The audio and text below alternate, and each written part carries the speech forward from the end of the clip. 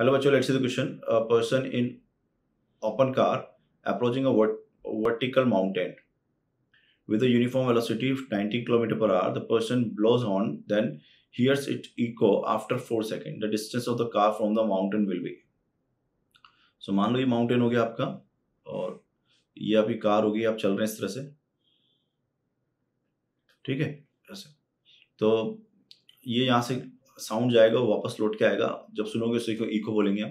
तो चला कितना? एक्स एक्स और टू एक्स बाई टी या two X is equal to ऐसे बोल सकता हूँ velocity of sound into T time so two into X is equal to velocity of sound है three thirty five into four second अच्छा इसमें खुद का वेलोसिटी भी दे रखा है उसने। 19 किलोमीटर पर आवर से वो चल भी रहा है। तो फिर दोबारा करते हैं इस क्वेश्चन को। क्योंकि चल रहा है तो अपन ने उसको एड्रेस नहीं किया। तो एक्चुअली क्या है कि ये आपका माउंटेन हो गया, है ना? और ये आपकी कार है। आप चल रहे हैं इस तरह से और ये लौट के आ रही है इस तरह से? तो आप यहाँ पहुँच गए, आपकी कार यहाँ पहुँच गई।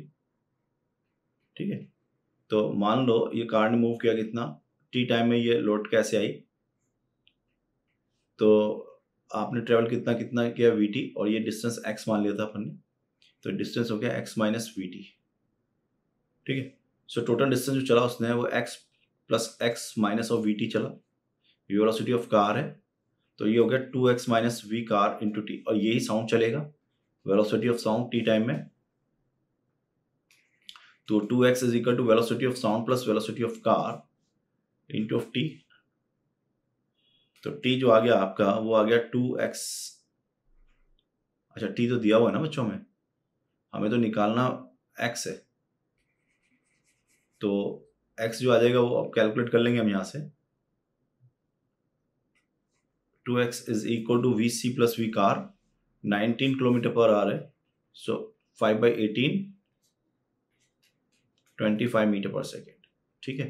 तो ये twenty five metre per second और थ्री थर्टी फाइव तो ये हो गया आपका, दोनों को जोड़ दो three thirty five plus twenty five into four second that is equal to X तो फोर से टू टाइम चला गया थ्री सिक्सटी हो गया तो ये हो गया seven twenty metre so right answer of the question is C all the best